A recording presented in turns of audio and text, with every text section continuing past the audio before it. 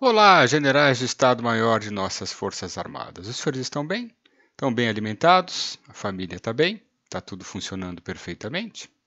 Ok, porque enquanto isso, não é isso?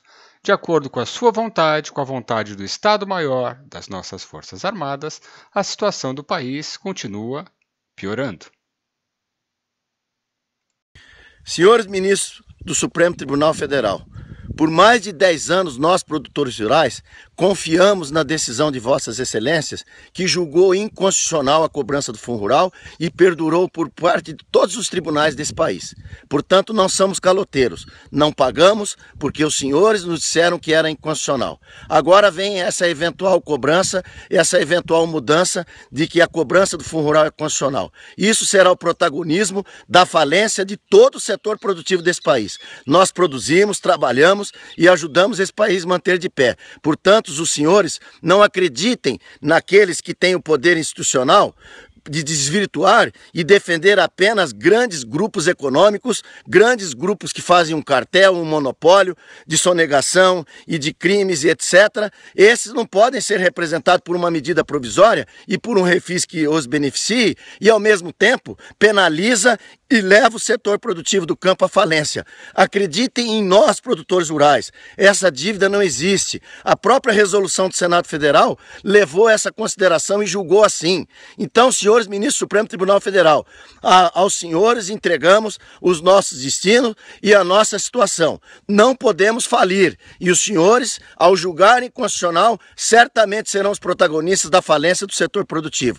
Vos pedimos de todo o coração, julguem com a consciência, julguem com se fazer justiça e preservem o produtor rural brasileiro e deixem-nos trabalhar. Obrigado, fiquem com Deus. Obrigado, Sério? Que desastre. Aí, Wesley. Leva tanto tempo para plantar, cuidar e vender barato, destrói no minuto.